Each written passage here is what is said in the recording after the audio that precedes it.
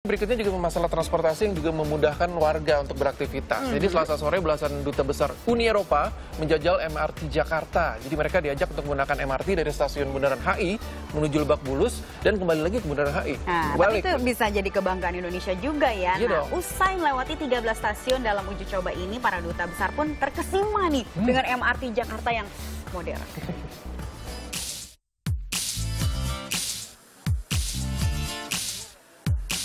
Selasa sore, stasiun MRT Bundaran HI dikunjungi belasan perwakilan duta besar dari Uni Eropa.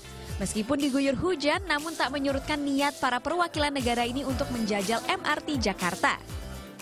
17 perwakilan duta besar dari Uni Eropa lakukan kunjungan uji coba MRT fase pertama, yakni adalah jurusan Bundaran HI Lebak Bulus. Seperti apa pandangan para duta besar terhadap MRT Jakarta?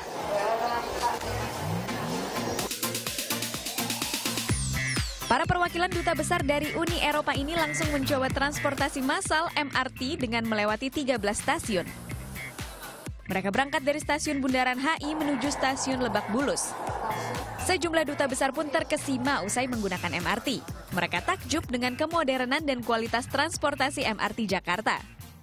Well, I'm very excited. I, well, I love trains in general, uh, and I find this uh, very modern, uh, very uh, clean with all the doors and the air conditioning. So I'm very excited to see this uh, being uh, open for commercial purposes end of March. I'm really impressed. It's very good. I think it's very modern.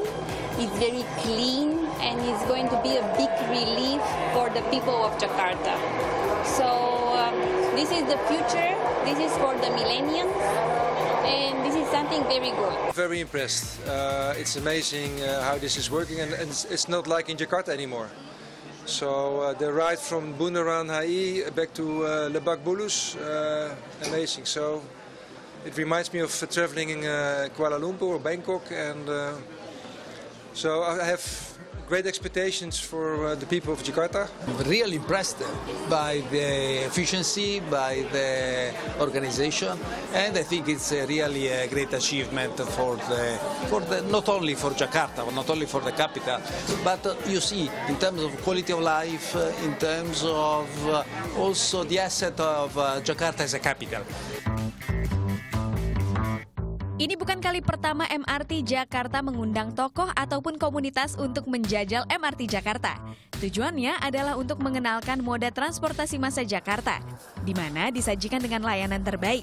Layanan transportasi ini juga diberikan tak hanya bagi warga Indonesia, tetapi juga masyarakat asing hingga turis.